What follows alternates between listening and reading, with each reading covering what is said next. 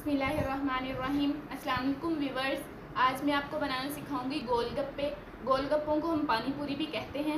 ये गोलगप्पे सबको बहुत पसंद होते हैं और बहुत ही आसान तरीके से बन सकते हैं। तो आज मैं आपको बनाना सिखाऊँगी।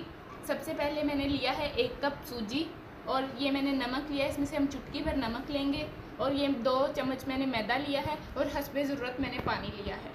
सबसे पहले मैं मैदे को इसके अंदर बाउल में डाल लूँगी। और इसके बाद मैं चुटकी भर नमक इसमें से ऐड कर लूँगी। और इसके बाद ये दो चम्मच मैंने मैदा लिया है, ये मैं इसके अंदर ऐड कर दूँगी। ये अच्छी तरह मिक्स हो गया है। इसके अंदर हम पानी मिक्स करेंगे।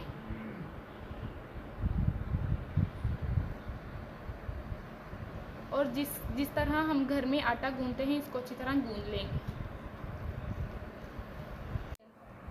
ये देखें, हमारी अच्छी तरह हमने इसको ऐसे कर लिया। इसको जैसे घर का आटा गूंदते हैं, इसको ऐसे ऐसे हम पाँच पाँच से छः मिनट के लिए इसको ऐसे गूंद लेंगे। ये हमारा डो तैयार हो गया है। इसको हम अभी एक पेड़ा बना लेंगे ऐसे। ये हमने एक पेड़ा तैयार कर लिया ये देखें और अब हम इसको रेस्ट पे रख देते हैं तीस मिनट के लिए नॉर्मल टेम्परेचर पर हमारी डो तैयार हो गई है, इसको रेस्ट हुए हुए तीस मिनट हो गए हैं, अब हम इसको पेड़े कर लेंगे। ज़्यादा बड़े पेड़े नहीं करेंगे हम इसको। ऐसे हम सारे डो के पेड़े तैयार करेंगे। इतनी बड़ी रोटी बनाना मुश्किल हो जाती है, इसीलिए हम छोटे पेड़े इसके तैयार करेंगे। हमने पेड़े तैयार कर लिए हैं, अब हम इनको बेलते हैं। पेड़े को हम पकड़ के हल्का सा मैदे के अंदर डिप करेंगे। और इसको ऐसे हम छोटी सी रोटी कर लेंगे। और इसको हम बेल लेंगे।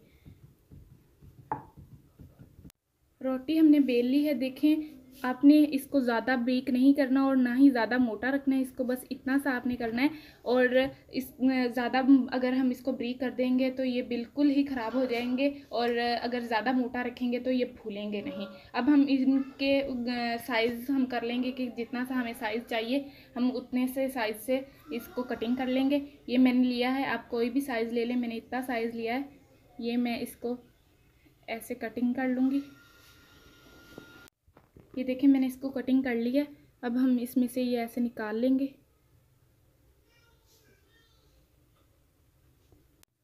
ये देखें कटिंग हो गया है। ऐसे ही हम इन सबको कटिंग कर लेंगे।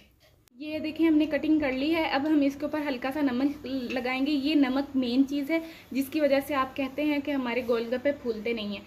तो मैं इसके ऊपर हल्का सा नमक लगाऊँगी। मैंने इन पर हल्का सा नमक लगा लिया है। अब हमने फुल ऑयल गरम करना है और इस पर इनको फ्राई करना है। ऑयल ऑयल गरम हो गया है देखें। और ये मैंने इनके ऊपर हल्का सा नमक लगाया था और हम इसको डालते ही ऊपर से ऐसे दबा देंगे। ये देखें। अल्हम्दुलिल्लाह देखें कितना प्यारा ये फूल गया है। इसको हम हल्का ब्राउन कर लेंगे।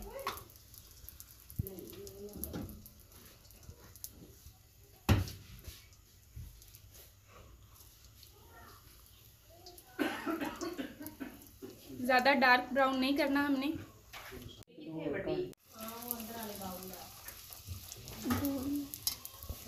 अच्छी तरह ये देखें, हमने फूल लिए फुला लिए हैं, ये अच्छी तरह हो गए हैं, ये देखें। बाकी भी हम ऐसे ही कर लेंगे। ये देखें ये देखें कितने क्रिस्पी हैं, और ऐसे ही हम बाकी सारे भी कर लेंगे। अल्हम्दुलिल्लाह देखिए हमारे गोलगप्पे हमने फ्राई कर लिए हैं। बहुत अच्छे ये गोलगप्पे फ्राई हो गए हैं, और अब हम इसकी फिलिंग तैयार करते हैं। उसके साथ हमें चाहिए आलू। मैंने तीन आलू लिए हैं, इनको मैंने बॉईल कर लिया है और ये मैंने इमली की चटनी बनाई है। इंशाल्लाह बहुत जल्द आपको ये भी बनाना सिखाऊँगी।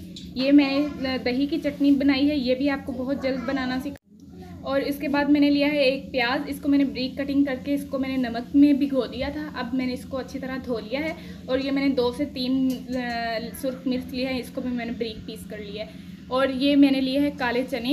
इनको हम छोले भी कहते हैं तो इनको भी मैंने बॉईल कर लिया है। अब इनकी फिलिंग तैयार करते हैं।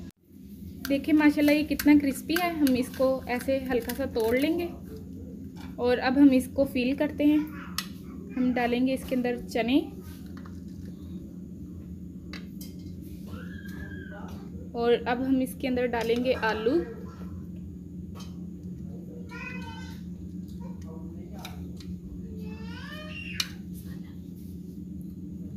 दही इमली वाली चटनी और प्याज और ये मिर्च। ये मैंने ये मैंने इसीलिए अलहदा अलहदा डाला है क्योंकि लोगों को नहीं पसंद होता प्याज वगैरह डालना तो इसीलिए मैंने अलहदा अलहदा डाला है ताकि लोग अपनी मर्ज़ी से हर चीज़ डाल सकें। ऐसे ही हम बाकी सब भी तैयार करेंगे। अल्हम्दुलिल्लाह, हमारी हर चीज़ तैयार हो गई है। ये हमने खट्टा पानी भी तैयार कर लिया है। हमारे गोलगप्पे भी फिल हो गए हैं। ये मैंने दही और ये इमली की चटनी इसीलिए साइड पे रखी है कि किसी को नहीं भी पसंद होती तो वो बाद में डाल ले। जिसको पसंद हो, वो अब खाने के टाइम पे डाल सकता है। एक मैं आपको फिल करके दिखाती हूँ। ये देखें, ये मैंने गोलगप्पा लिया है और ये मैंने दही इसके अंदर डाली है। और ये मैं इसके अंदर चटनी डालूँगी। और अब मैं इसको मज़े ले लेकर खाऊँगी। आप भी इसको मज़े ले लेकर खाएँ। उम्मीद है कि आपको बहुत पसंद आए होंगे, बहुत मज़ेदार हैं, ये बहुत सस्ते में बन जाते हैं। तो आप मेरे चैनल को सब्सक्राइब करें, लाइक करें, शेयर करें और कमेंट करके ज़रूर बताएँ कि आपकी ये रेसिपी कैसी बनी है।